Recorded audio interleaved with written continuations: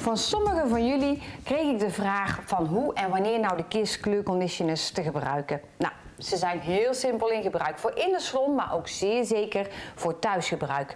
Want het is een ideale aanvulling op je soft shades om thuis de kleur mooi te houden. Hier heb ik de tinten, heb ik voor jullie in beeld gebracht. Nou, ik heb er al eentje opgesmeerd, maar ik laat het zo dadelijk nog goed zien. Alle kleuren heb ik aangebracht op een ja, een licht geel staaltje. En dan kan je precies zien wat de kleur nu precies doet.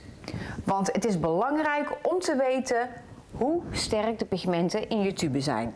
Nou, als we dan naar de eerste gaan kijken, net wat ik zei, ik had hem al uitgesmeerd voor je op papier. Dit is een heel mooi zacht as, ja, beige tintje is het.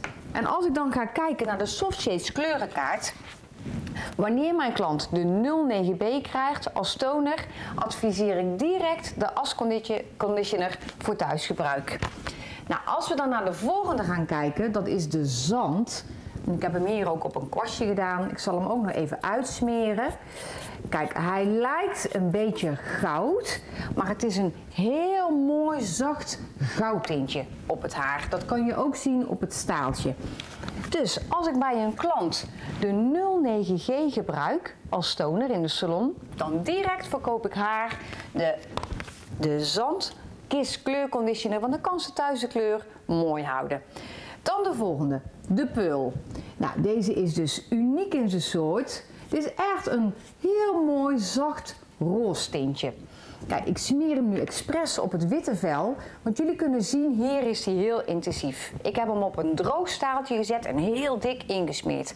Maar voor thuisgebruik staan ze natuurlijk onder de douche, het haar is nat. En als ze dan wat minder gebruiken, gewoon een normale hoeveelheid, krijgen ze een hele mooie roze pastelachtige gloed. Die sluit natuurlijk perfect aan bij je 10P, bij je peul. Dan hebben we nu ook de No Yellow Conditioner. We hadden natuurlijk al de shampoo, dat is echt een succesverhaal. Maar de conditioner, ehm, nou ja, die sluit daar mooi bij aan. De No Yellow shampoo maakt het haar wat steviger.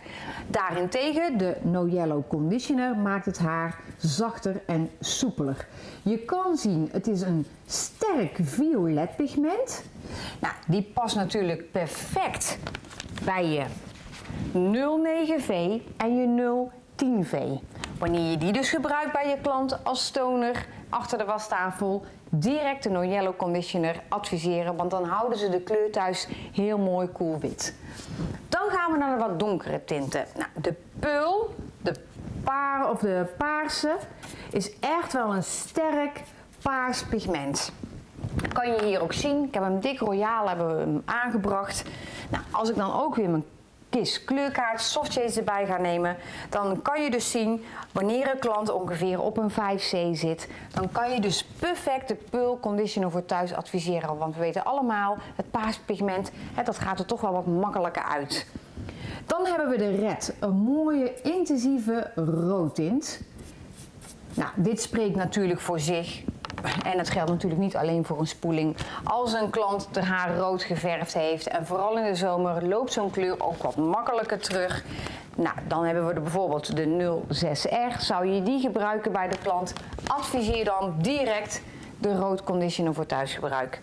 Dan hebben we de koper. Een heel mooi koperpigment. Die voelt zich ook het prettigste op een kleurhoogte 7. Dus als je in een 7 kleurhoogte zit met koperpigment, adviseer de koperconditioner om de kleur mooi fris en helder te houden.